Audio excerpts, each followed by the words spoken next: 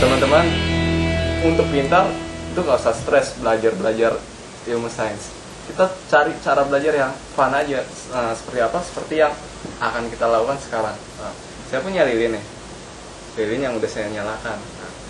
Di tangan saya ada gunting eh, yang saya gunakan untuk eh, memegang sebuah aluminium foil yang udah saya gulung-gulung membentuk eh, tabung silinder udah agak jelek emang. Cuma ya namanya juga eksperimen. Nah eh, kita akan melakukan apa ya dengan alat-alat seperti ini? Saya akan minta bantuan salah satu orang teman saya untuk membantu saya. Perhatikan ya. Ujung eh, aluminium foil ini akan saya dekatkan ke nyala api lilin ini.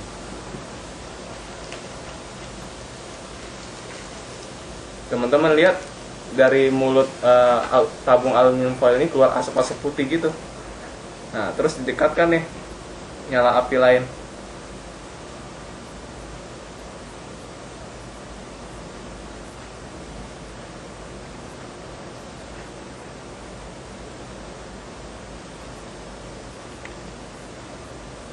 Nah, teman-teman lihat nggak?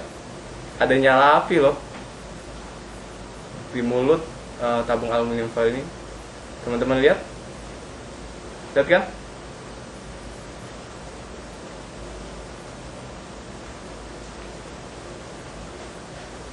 Lihat kan teman-teman? Ya mungkin nggak lama. Eh, seketika dia langsung padam. Sulit untuk eh, bertahan cukup lama. Oke, nah kenapa bisa begitu?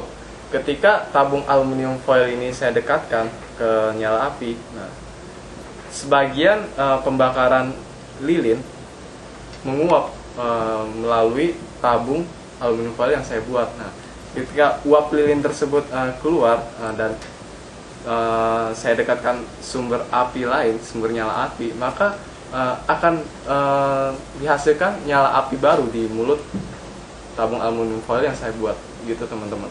Keren kan? Masih banyak loh eksperimen-eksperimen lain yang keren banget yang bisa bikin kita pinter tanpa stres. Nah teman-teman bisa akses hanya di www.kucingfisika.com